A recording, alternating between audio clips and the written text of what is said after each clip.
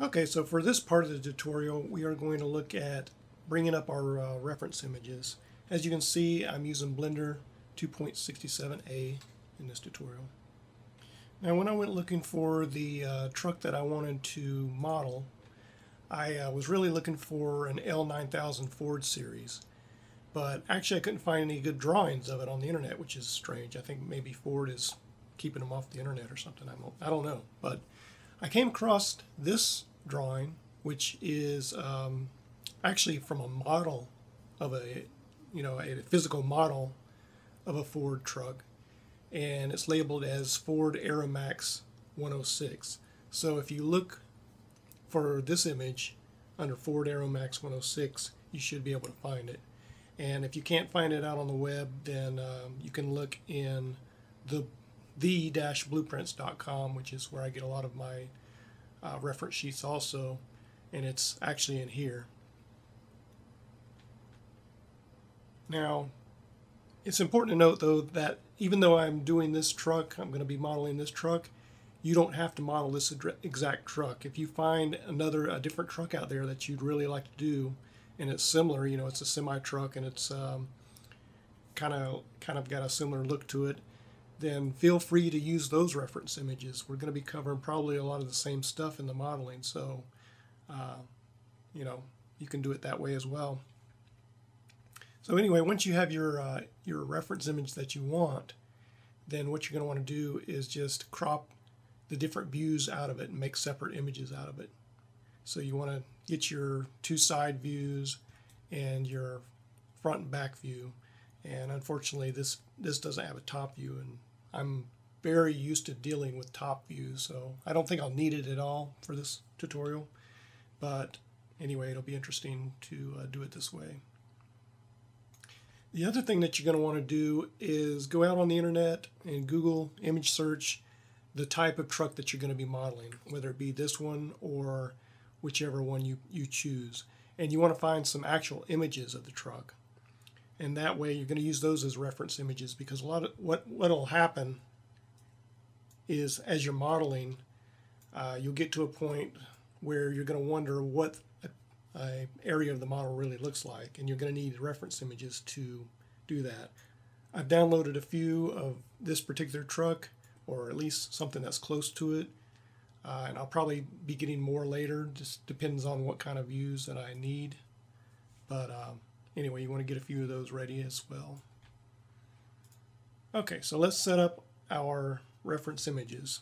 What I'm going to do, this is my particular setup, so I have the front in this view. So I'm going to hit N here to bring up this menu, and I'm just going to check background images. I'm going to add an image. And I need to let it know that this is going to be the front. And I'm going to open the image.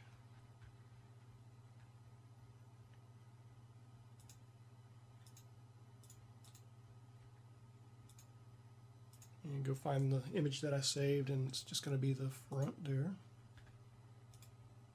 Okay so there's my front image I'm going to use this view down here instead of the camera right here. I'm going to use the uh, this part as the, uh, actually I think it's going to be the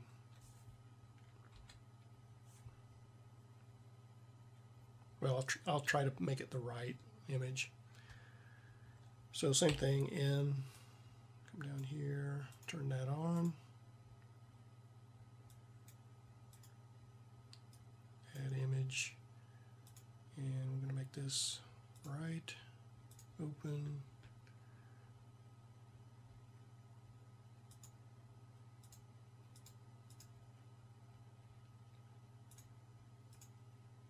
and find my right image. Okay. And for some reason, just my preference, I don't like to model on the right. I like actually to model on the left. So in my normally top view, I'm going to use this as the left. So I'm going to do a control 3 I'll make it the left image. And I'm going to load up my image here. Change the view to left, open. Okay, so bring in my left image there. And then I can, well actually I need to make sure these are lined up the best I can. So the way that I do that is, um, what I'm going to do is do a, a Shift A and create a plane. And I'm going to do an RY90 to rotate my plane and SY here to scale it.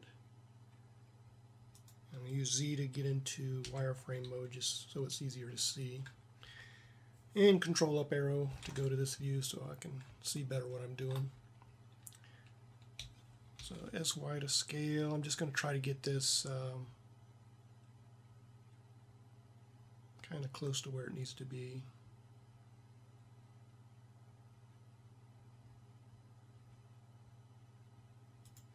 Okay. And I'm going to move the image over and try to get it the size of my uh, plane here. So to do that, we just come down here to the x coordinate and just want to move that over and not too far. Okay, that's close. Move this box down here to see where I'm at. SY a little bit.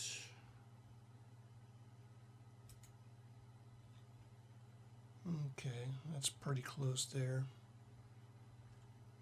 And I'm going to do a SZ to scale on the Z axis. And what I'm trying to do here is I want want it to be at the bottom of the tires and the top of this air scout or whatever you want to call it. So I know it's going to be a little bit bigger, but I do have to move the image. You don't want to move your geometry because, or the plane because um, you want to make sure it's centered in on the uh, Y and Z axis, but actually I did move it earlier, I shouldn't have done that. But I can fix that. I can just go um, uh, go into my T menu and origin to 3D cursor. And geometry to origin. Okay, so now I got my geometry back where it needs to be. And I'm just going to scale a little bit more so it's closer. Okay, and I'm going to move this down the y-axis, this image, and that's almost perfect right there. Actually, it's perfect over here, but as you can see, it's definitely not perfect there. That's not good. Unfortunately, um, pretty much any group of images you get is not going to match, so you just have to do the best you can. So control up, or yeah, control up arrow back to my views here. And what I'm going to do is go to my front view and I need to get this image to match what I'm seeing in my side view. So, of course, this image looks like it's got to come down quite a bit. So I'm going to come down here and change the size down.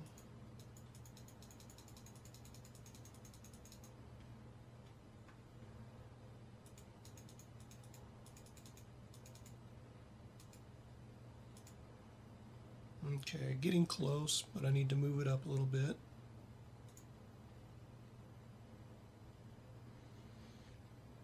Okay, and I'm just going to tab into this plane and I'm going to E extrude it along the uh,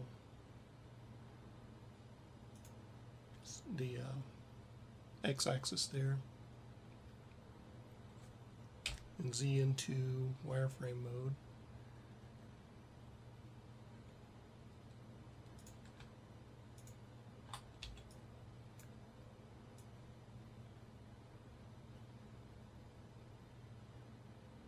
And I think what I'll do is I'll just go to the um, edge of the tires here.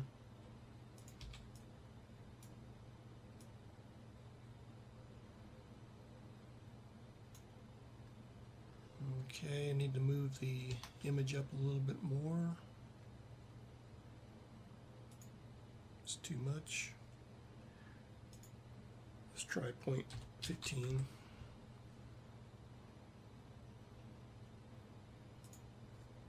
Point 13. Okay, that's close. So basically what I'm doing, we look at both views here, is I'm making sure that my image is centered in the uh,